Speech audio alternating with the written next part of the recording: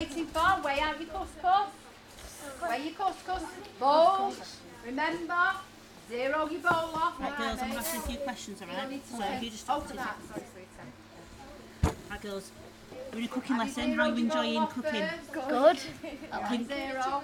Are we going to have me? Are we going? We, are we going to have? Um, You have it close to you, we'll do you hear me it. to ask questions? Yeah, Yeah. yeah.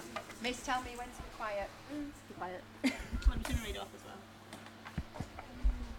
Hello, girls. So this is your first cooking lesson at Harrop Fold School. You look very excited. What are you making? Um, like We're making this like couscous, like couscous, salad. salad. Yeah, it's really directional.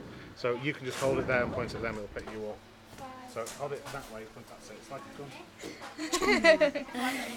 no, it'll pick you up because I've got you on here as well. We'll do it again, girls. You ready?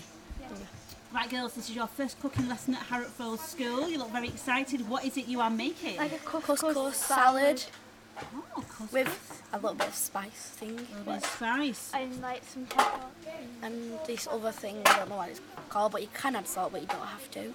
Because salt's not very good for you. So, Oh, And we have a water thing over there. like it's like egg. Water, I don't know what Love it it, is. girls. So this is your first practical now. Are you enjoying Harrop Fold School? Yeah. What is your, if you could say one thing each, what is your most favourite thing about Harrop? Cooking. Cooking and Meeting new friends. making new friends. Wonderful. Have a great lesson, girls. Thank you. Guys, once you finish, will you stay